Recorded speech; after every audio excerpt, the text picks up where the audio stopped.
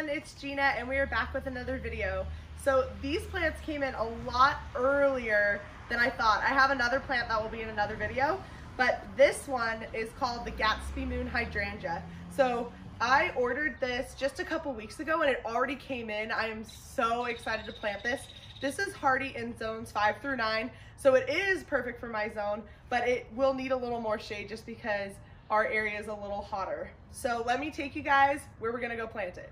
All right, you guys, so we are in the spot where I'm going to plant the Gatsby Moon Hydrangea. So I actually had to film this a little bit later in the day because um, we have our gardener here earlier and he was taking out that Brazilian pepper tree. I don't know if I've talked about this before, but it is a pain in the butt and it sent so many suckers up through the through the soil and I just could not get a hold of it. So he um, he was able to take care of it, got the roots out. It looks great. That'll be for another time. But anyways, I digress.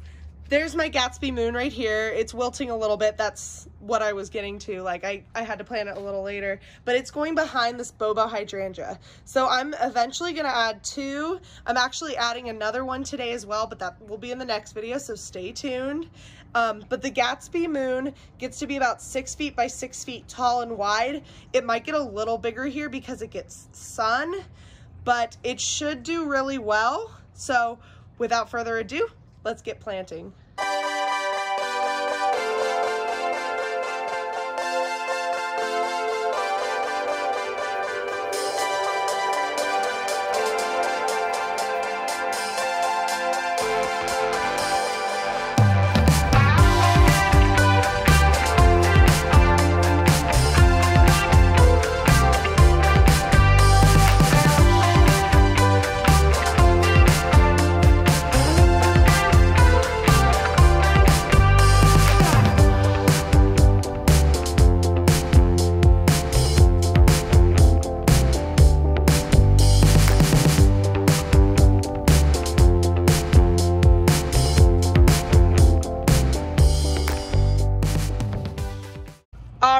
That's really unfortunate, but it looks like this spot will not work for my hydrangea.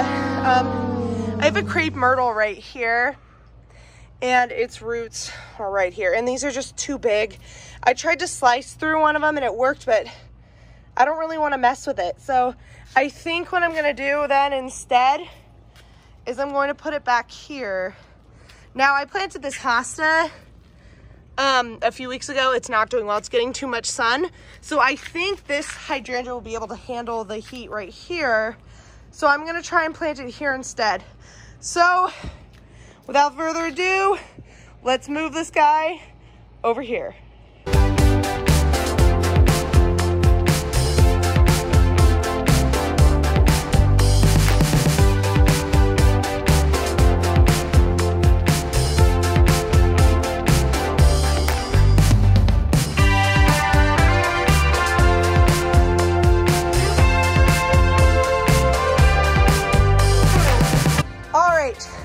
Lot easier to dig than the other spot. This should be pretty good. It's gonna definitely be shaded by this bottle brush tree. And the hosta is pretty close to it, but if anything, it's gonna give that hosta a little more shade, which will be good. So the last step is drip irrigation.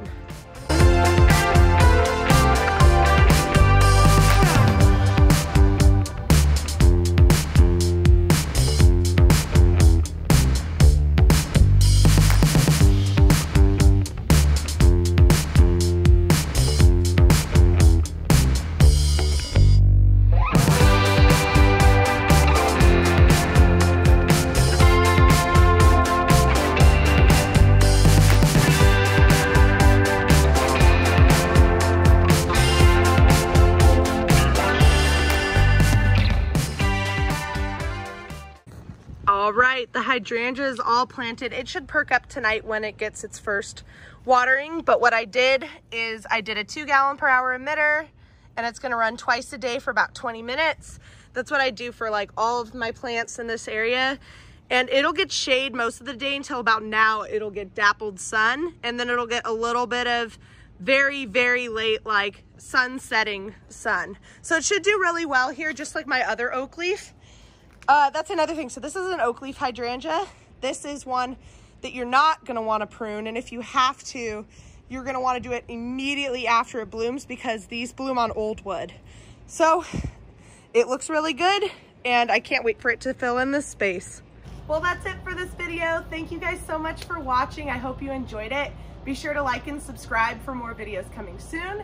And be sure to tap that bell notification so you're notified of when I post my latest videos. And I will see you all in the next one. Bye.